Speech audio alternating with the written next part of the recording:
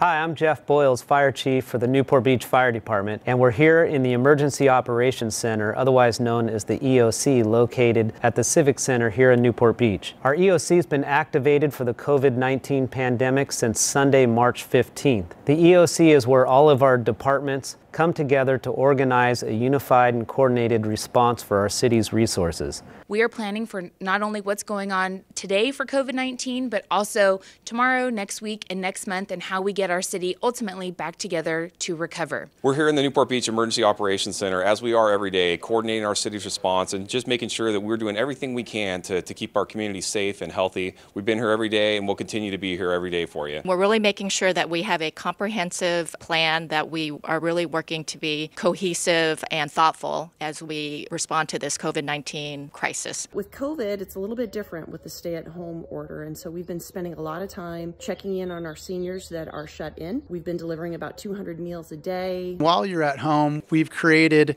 an online recreation center where you can take classes virtually online, and there's lots of resources there. Our public works staff, part of your frontline essential staff, is out there in the streets and making sure our community is in good shape, keeping our infrastructure and our facilities in good shape. We coordinate all of our messaging around the coronavirus, make sure that we are getting the latest information, that we can communicate verified information to the public. Our role is always to protect the citizens and visitors of Newport Beach, and we continue to do this during the outbreak. On behalf of the City of Newport Beach, we want you to know that we're here for you here in our city's Emergency Operations Center, and we need you to be here for us. Please continue to practice social distancing, wear a mask, and be safe at home. And we want you to know that from our City Council to our City Management to all of our department directors and all city staff here in the City of Newport Beach, that we are here working for you to make sure that the City of Newport Beach is as safe as possible, and we will get through this together.